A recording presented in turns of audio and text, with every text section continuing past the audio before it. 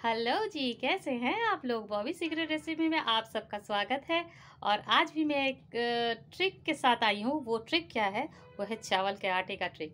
भला घर में चावल का आटा कैसे बन सकता है? कोई चक्की थोड़ी घर पे खोल के रखा पर बन सकता है, बहुत आसान तरीके से बन सकता है। प्लीज़ पूरा वीडियो देखे, तभी आप लोग को समझ में आएगा कि कितने आसान तरीके से बन सकता है। तो बाज़ार जाने की ज़रूरत नहीं है। खैर, चलिए देर ना करते हुए चावल का आटा की तैयारी में शुरू कर देते हैं।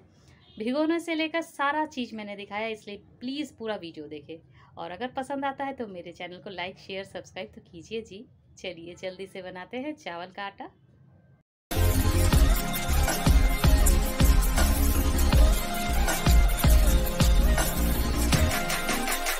आप लोग देख लीजिए, मैंने यहाँ पे अरवा चावल एक कटोरी भर के लिया है और ये सेला चावल है, जो कि आधा कटोरी।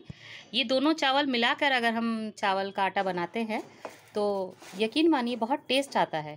खैर, बाज़ार में तो सिर्फ़ अरवा चावल का ही शायद मिलता होगा। चलिए इन्हें अच्छे से वॉश कर लेते हैं।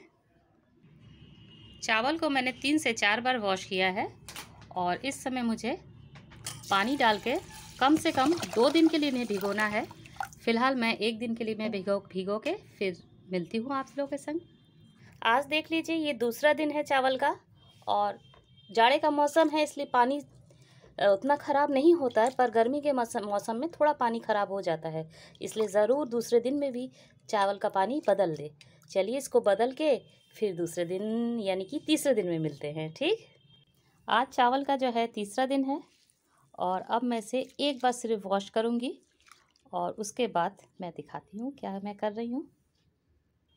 आप लोग देख ले, मैंने एक छन्नी में इसको डाल के रखा है चावल को और इसको जो है लगभग एक घंटे के लिए मैं ऐसे ही छोड़ दूँगी और उसके बाद मैं चावल का आटा मैं कैसे पीसूँगी मैं दिखाऊँगी।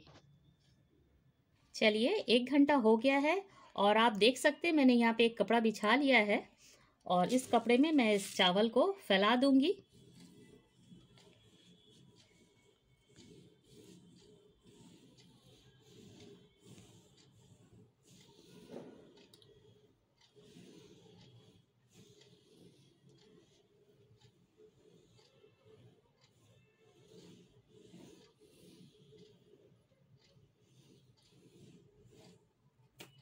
ये देखिए, फैलाने से मेरे हाथ में कितना पानी है। ये पानी ना हो, तब तक इसका इंतज़ार कर लेंगे। कम से कम ये तीन से चार घंटा लग जाता है। और बस उसके बाद मिलते हैं। ये लगभग चार घंटा हो गया है इसे मैंने फैला के रखने का। देख लीजिए, मेरा हाथ बिल्कुल सूखा है। मुझे इसी तरह ही सूखा चाहिए। चलिए, अब इनको हम लोग पीसने की प्रोसेस में चलते हैं। आप लोग देख लें, मैंने मिक्सी के जार में डाल दिया है और थोड़ा सा गैपिंग रखे। चलिए नहीं पीस लेते हैं। आप लोग एक बार इस तरह के छन्नी ज़रूर ले लें। जैसे कि आटा छानने वाला जो छन्नी होता वो होने से भी चलेगा। और ये देख लीजिए, मैंने इसमें थोड़ा सा अभी भी हाथ में महसूस हो रहा है कि चावल का दाना है तो इसलिए ज़रूर छान ले।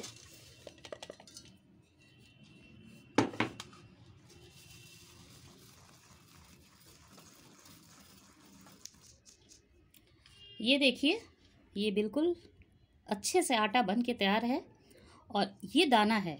इसको फिर से मैं बाकी के चावलों के संग इसको पीसूँगी। पीसने का तरीका यही रहेगा, छानेंगे भी इसी तरह। चलिए पीस कर मिलते हैं। ये रहा आप लोग के लिए चावल का आटा और इसमें अभी भी थोड़ा सा मॉइस्चर है तो मैं कुछ टिप्स बता देना चाहती हूँ कि इस मॉइस्चर को कैसे हटाया जाए या फिर आप धूप अच्छी आ रही हो तो कम से कम दो घंटे के लिए धूप में इसको फैला दें एक कपड़े में तो ये सूख जाएगा। और या फिर कढ़ाई में अगर जल्दी है और आपको स्टोर करके रख के कहीं जाना है तो मैं कहूँगी कि कढ़ाई में इसको दो से तीन मिनट के लिए इसको रोस्ट कर लीजिए और या फिर इसको एक डिब्बे में भर के फ्रिज में रख दीजिए। मैं रोस्ट कर लेती हूँ। जाड़े के मौसम में विशेषकर थोड़ा टाइम हर चीज़ में लगता है तो इसलिए मैं रोस्ट कर लेती हूँ। रंग नहीं बदले, बस रोस्ट कर ले, इससे क्या हो इसकी जितनी नमी है थोड़ी सी वो नमी भी इसकी ख़त्म हो जाती है। खैर, मेरी रेसिपी अगर आप सबको पसंद आ रही हो तो प्लीज़ मेरे चैनल को लाइक कीजिए शेयर कीजिए सब्सक्राइब कीजिए। तो फिर फिर मैं मिलूँगी दूसरी रेसिपी के साथ। आज के लिए बाय